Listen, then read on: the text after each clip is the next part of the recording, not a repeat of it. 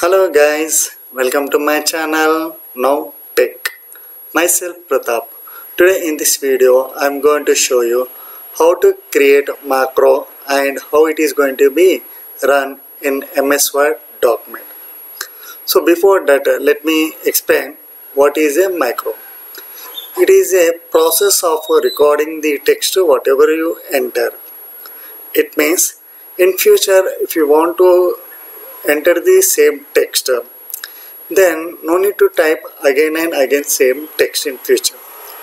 Why? Because the macro is to what means it will record the text whatever you type. So in future by the help of that file recorded file we can get the data more than one time. So i can say record means it is just like copy and pasting the text more than one so that is about uh, macro. So let me begin our exercise. So let me open ms word document.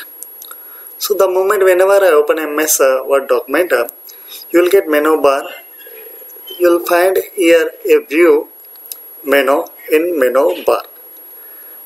So i need to select here view. The moment whenever i click on view menu you will get a right side macros just click on that uh, item.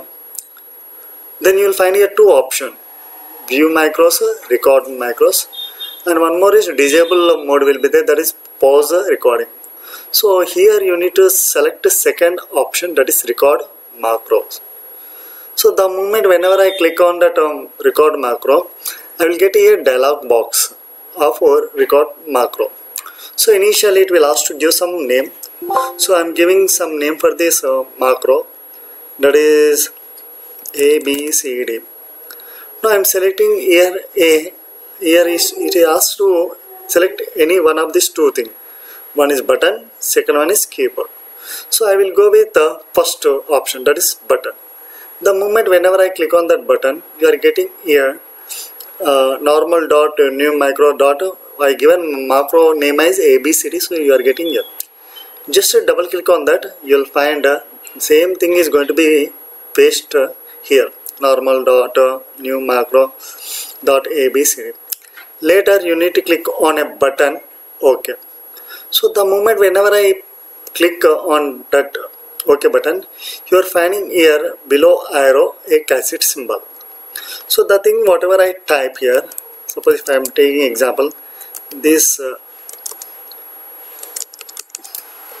this macro is used to record the text record the text.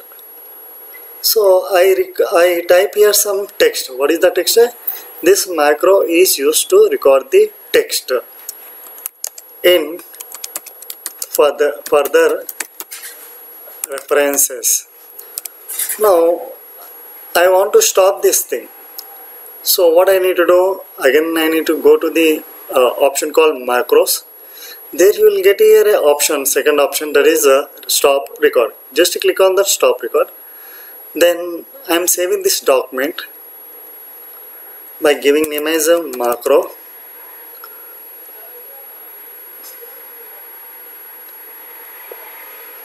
And I'm selecting here, uh, okay, downloads save. Now if I want to know whether this has been recorded or not just click on the same item that is macro. Here you will find a view macros first item click on that. You here find a b c d. Just select that and make it run. Then see here the thing whatever I play uh, enter here same thing you are getting here. It will not get for only one time. Your wish you can take uh, this thing n number of uh, times. Just double click. Same case. So go there select abcd run.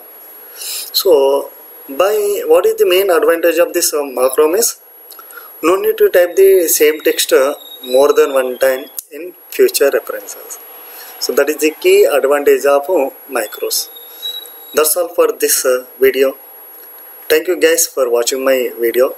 Please like comment share and subscribe my channel. Thank you guys